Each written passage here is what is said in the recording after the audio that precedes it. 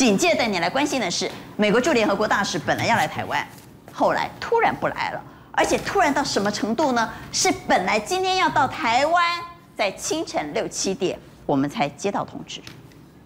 在还没有来之前，然后就受到国民党无尽的批评，还有呃所谓冷言冷语哈，所以我觉得国民党要为这一次呃所谓的取消要负相当大的责任哈。嘎奇怪，我就没有批评啊，我从头到尾都赞成啊，我赖世宝绝对举双手双脚赞成，出了事情就推国民党嘛哈，这是民进党的一项的 SOP 了啊。好，我来看到这把是大代机哦，突然临时喊卡，美国驻联合国大使原定今天就要到台湾了，但登机前一刻突然取消。当然，现在外界有很多种说法，到底是登机前一刻取消，还是已经上了飞机，在半空中突然被召回？目前疑点重重啊。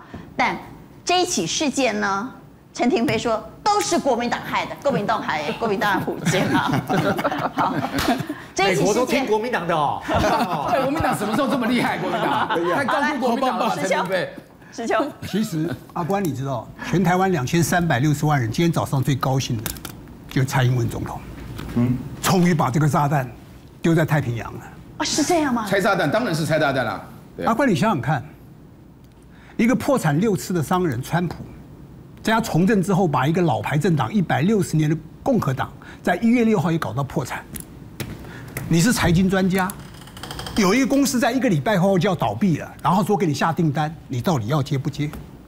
一个一个礼拜后就要关门的美国美利坚合众国的川普政府，他今天跟你来这个订单也好，支票也好，你接或是不接？所以真的蔡英文最兴奋。因为他现兴奋吗？今天吴钊燮说理解，但是遗憾呢。这是官场的，这是官外交外交辞令，外交辞令。嗯，其实国民党凭什么负责？真正要会让蔡英文很兴奋，这应该不是国民党干的。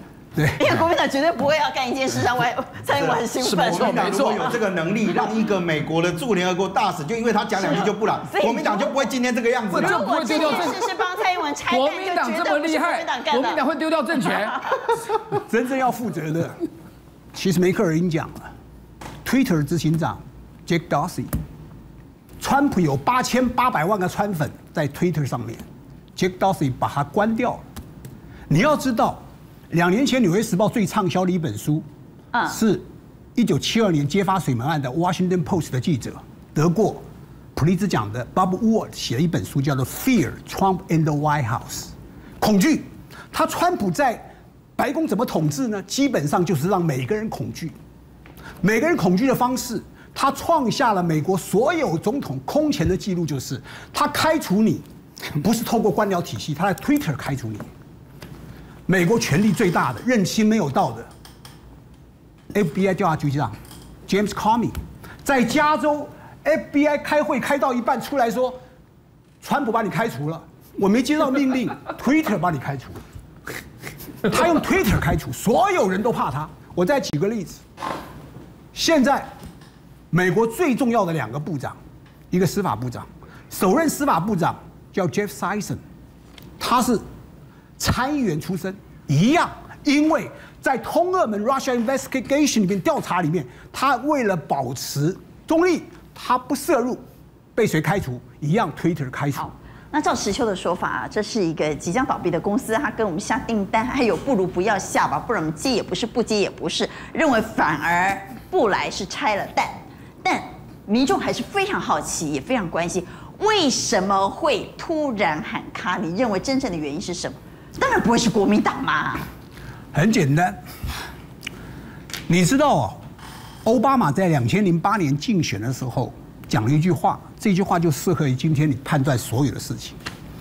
他说：“The old politician in Washington D.C. believe the principle: me first, country second, Wall Street first, Main Street last。”他华盛顿政那些老政客们，他们只相信一个原则：我第一，me first, country second。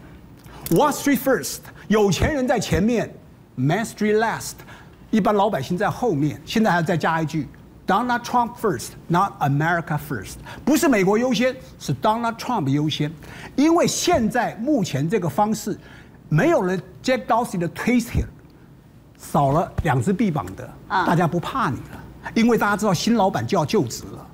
川普他是不管你是部长还是你知道。最近常上 CNN 那个叫做 Andrew McCarthy，他是联邦调查局的副局长，是这个事务官，他让你薪水都领不到，他只有半年就要退休。他认为你在通俄门 Russia investigation 调查我，叫你配合你不配合，一样 Twitter Andrew McCarthy 干了公务员将近四十年，领不到退休金，叫你滚蛋。这就是川普。这些国务院的官员很清楚，你这个公司马上就要关门了，换了新的老板，而且。你的推特上面没有办法在那里舞刀弄枪了，所以员工知道要换老板，要换老板，还要帮旧老板做这件事，而且还没有推特可以开除我。所以在这种情况之下，今天如果有推特的话，你我不干这件事啊，而且新老板会不高兴。但是但是我要讲讲一句话，就是你们知不知道有个新闻，就是庞培奥本来要访欧盟的，是啊，也取消了，欧盟拒绝拒绝，嗯嗯，欧盟强硬拒绝。所以庞培奥没有办法访欧，所以因此国务院才把所有海外访问计划一起取消。所以不是单独只是台湾的。阿关你就知道，因为欧洲人很清楚，你这家公司在一个礼拜后就要关门了，你来干嘛？我知道问大家电视机前的一个问题：如果马英九在二零一六年五月十三号下台前一个礼拜，请陆委会主委跟国台办来共商。所谓的两岸和平协议，而且派他到北京去谈，台湾早就炸锅了。